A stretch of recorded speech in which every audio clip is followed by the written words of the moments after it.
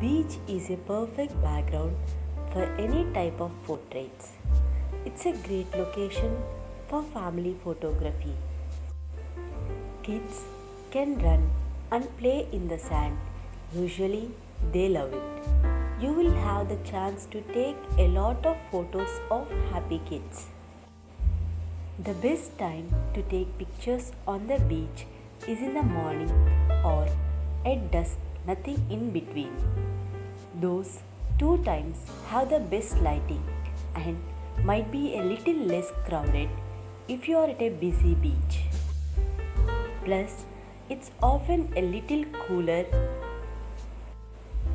so that you can avoid those unfortunate sweat marks. Either time period works well, but definitely pick the one that your crew will be happiest, especially if young children are involved. So, planning to take family portraits in the beach? Well, here are the best poses for your inspiration.